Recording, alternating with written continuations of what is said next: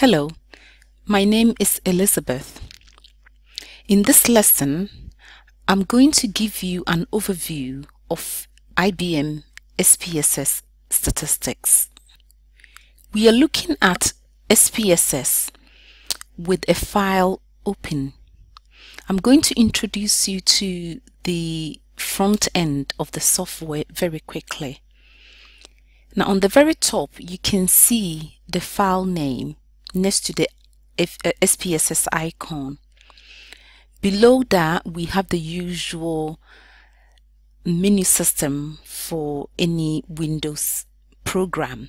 So it will start usually from File, Edit, all the way down to Help. Now, these menus are all pulled down so you can click on say file and it will give you all the other things you can do under file we have the ribbon. The ribbon gives you icons of most frequently used functions. You will get familiar with them like any programs, what they are for. You have the usual ones that look alike like open, save, print. Now underneath the, the icon bar is a table of data. Now this table tends to look like Excel and that's how SPSS is. The only difference that we have looking at this table view but before even I go on to draw the differences I want to draw your eye to two um, sheets data view sheet and variable view sheet. They are slightly different. I want to focus on the data view first. Now, in the data view that we're looking at, we can see that we have columns and these columns are a bit different from Excel columns. In Excel, the columns will have a name such as A, B, C, D. That's how the program is written. But here in SPSS, you don't have the ABC. You get to name the column by the name of the data that you are collecting. The first column here, the researcher has reserved it to um, for the respondent ID. But the following one we can see is the treatment group that that respondent belongs to and the ethnicity, the age, and on and on. Beyond the column, we also look at the row, which is very similar to Excel. We have the rows that contains the complete responses for each respondent. So in this case, if we scroll down, we will find that we have a hundred respondents in this data file. So now we're going to look at the variable view. So I'll click on the variable view. You can see that the variable view is a little different from the data view. Here we have columns named differently. We have in the first column contains the names of each of the variables or the names of each of the questions that you are gathering information about. The first name is the ID. The second name is the group. Now you can give them names, but what the software require of you is that you should not give a name to the same name to more than one variable. So you can actually call these instead of group ethnicity, you can call them question number one, question number two, question number three in whichever order that you want to call them for convenience. Also, you are not allowed to use spaces in the naming. You can go for as many characters as you, you want, but it has to be one chunk of characters but not with breaks between them. So you are not allowed to do that. The second important column is the type of data that you are bringing in. Remember SPSS is the statistical software, so it prefers the data to be numeric. Of course, you can always bring in a variety of data type, but it has to be numeric. So you need to decide if you have the data in a string, you need to organize it to bring it in as numeric. The next important column is the label. Now here in the label, you are given the opportunity to name questionnaire sheet and the name of the questions. You can cut and paste them here as labels. The software use the label to then generate the summary tables for you. So it's important that you give it a simplified version of sometimes your question if the question is very long. The name of it is very long. Now I'll move you to the next column, which is the values. Here you declare only those questions that have choices to offer the respondent. So the question number one, which is in this case the treatment of the individual, the treatment group of the individual respondent. Here we have two choices. We have the control group and we have the treatment group. So you can randomize the respondent to whichever group. I want you to also look at the way that the researcher chose to organize the choices. Here the researcher started counting from 0 and 1. You don't have to. You could start counting yours from 1 as the control group and 2 as the treatment group. Likewise, we can look at the ethnicity is also a categorical variable. Here you can see that the researcher chose to count from 1 instead of 0 as previously. Now there are some variables that doesn't need any values because they are what we call continuous variable or a continuous scale measure. So in this case, you leave them alone. Example of such is age, length of hospital stay, this data tends to be computed from one point of a continuum to another point of a continuum, the distance between the two points. So it's not a tick boxes choice that you can make it available. People have to give you the raw data. Now the remainder of the question, you can see that they were all choices, yes, no, yes, no, and other choices. The next important column is the measurement of the data. Now, the measurement of data comes only in two shapes. We have continuum scale measurement data and we have categorical measurement.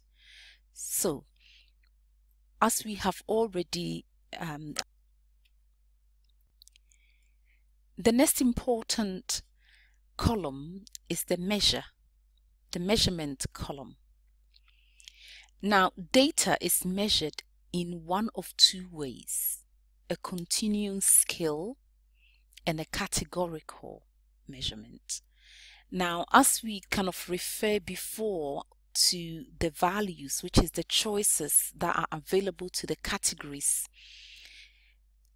the categorical variable comes in two shapes we have the nominal categorical and we have the ordinal categorical. So let me explain. The nominal categorical is where you have two, three, four, five choices and they are not in any special order or position.